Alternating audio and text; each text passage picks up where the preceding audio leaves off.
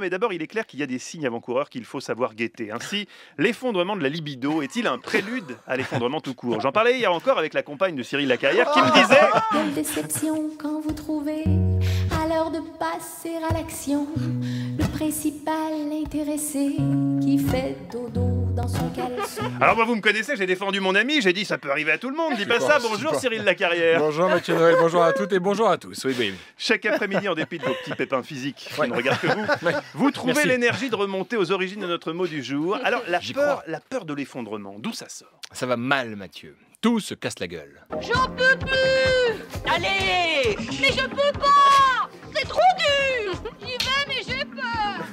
Fallait pas y aller, Nathalie. Fallait pas y aller. Cet effondrement-là, il était prévisible. Mais l'effondrement du monde, d'où ça sort? D'une théorie, celle de l'effondrement, qui porte un autre nom, la collapsologie. Un terme inventé par Pablo Servigne et Raphaël Stevens dans leur livre Comment tout peut s'effondrer, sorti en 2015.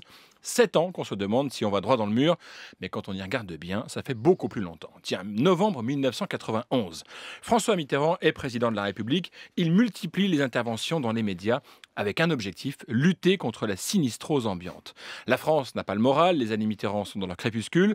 C'est rien de dire que l'arrivée d'Edith Cresson à Matignon n'a pas permis de sursaut politique.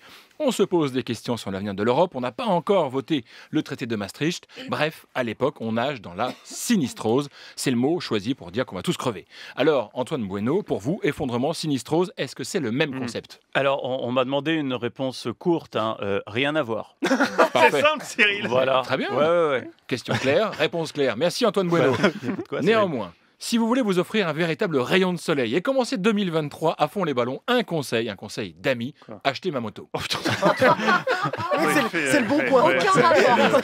Prendre en, en otage l'antenne d'Inter, Ouais, première radio de. France, hein, pour, pour nous vendre sa moto, une moto qui doit commencer à avoir les cylindres bien encrassés depuis le temps qu'elle est en vente.